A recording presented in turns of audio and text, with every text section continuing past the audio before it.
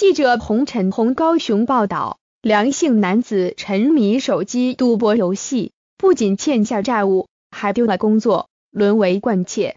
他三日深夜穿雨衣掩饰，在仁武区周姓被害人住家前偷窃手推车。警方调阅监视器，发现其家脚托很显眼，与之前多起电动单车窃贼一模一样。巡线将他逮捕。人武警分局三日夜间十时接获报案，指称住家门前手推车失窃。警方调阅监视器，发现窃贼清晰身影。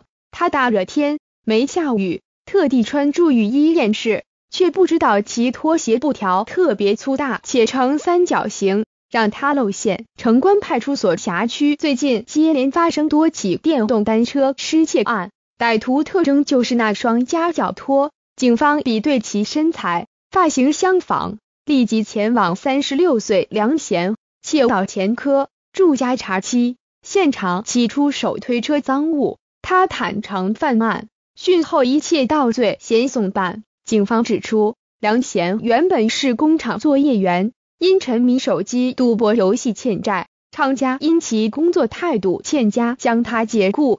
他走投无路，开始偷窃各种物品变卖金钱。